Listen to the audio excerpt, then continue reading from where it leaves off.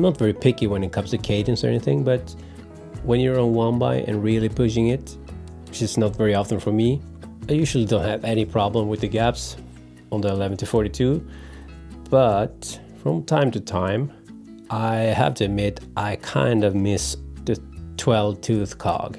So I know what you're thinking.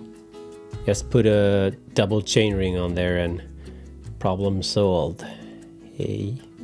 But where's the fun in that? So let's experiment a bit and let's leave the one by discussion for another video. So the plan is to take this uh, mountain bike dinner plate cassette 11 to 42 and this road cassette 11 to 28 and combine them and see if we can fill in some gaps. Obviously that means we will have that gap on another part of the cassette but always fun to experiment a bit so let's see how it goes. So the 11 to 42 cassette as you can see has double tooth jumps at the low end 11, 13, 15, 17, 19 and the 28 is 11, 12, 13, 14, 15 and then 17. And the plan here is to take that 12 tooth cog over to the bigger cassette. It's important to note though that uh, Shimano actually specifically state that you should never mix cogs with different model numbers. So this is on your own risk. But just to make sure, I'm just checking the second cog and the third cog that they actually are the same width, which they seem to be. So I'm gonna take the risk here. As you can see, we can't really mix the clusters if you take the second row cluster and put it on the mountain bike cassette, you see you have a big gap. So that's not possible. So I will still keep the two big cog clusters from the mountain bike cassette. Clusters, do you call them clusters? Oh well, you, you know what I'm talking about, right?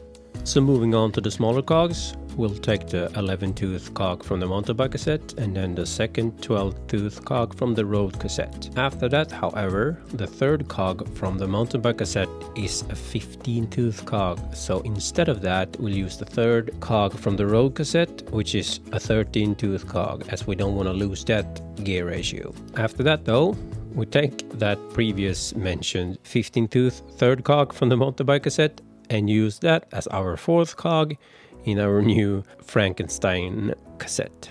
So now we basically have my ideal low end ratio done, which is 11, 12, 13, 15 tooth cogs.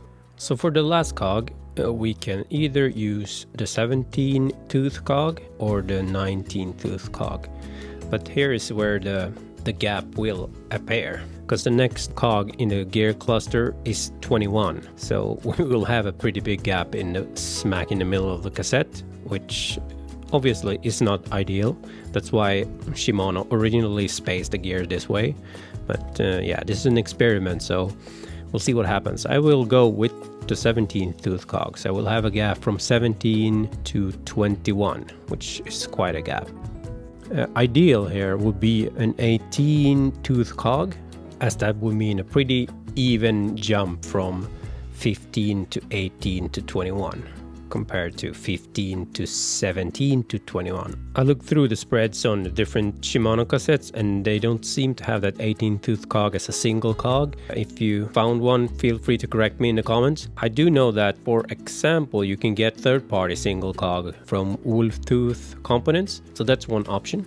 We'll see if it's needed or not though for now I will try to give this a go. I have a feeling it would be quite a big jump as it's in the middle of the cassette, probably around the time when you climb some like 4 to 5% climbs. I'm probably gonna feel this. But as I said, it's an experiment. This is not the solution to end all complaints about big gaps on one by. If you're a cadence maniac, you shouldn't be on one by in the first place. But again, that's another video, I think so. Then we just need to put on our Frankenstein cassette on our wheel again. Put the wheel back in the bike.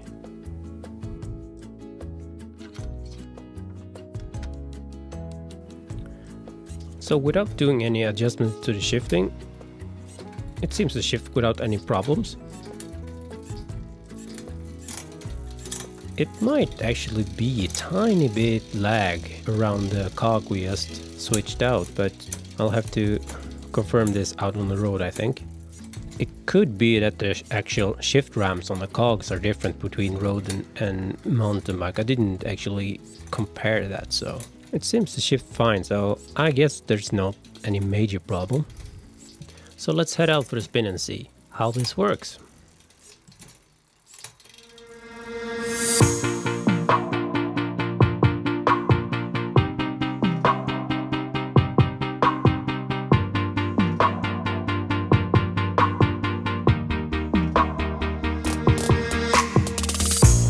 Up at the top of the mountain right now at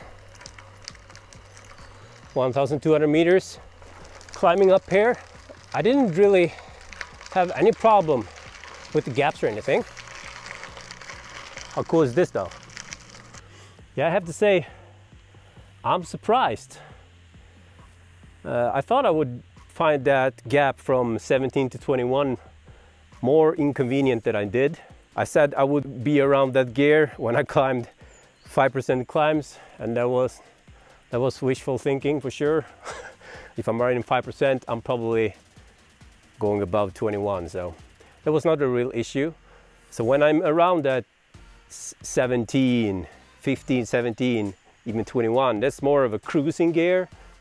I'm kind of satisfied. Obvious, obviously, if you're really picky about your cadence, it's definitely not an ideal jump because you can definitely feel it for sure.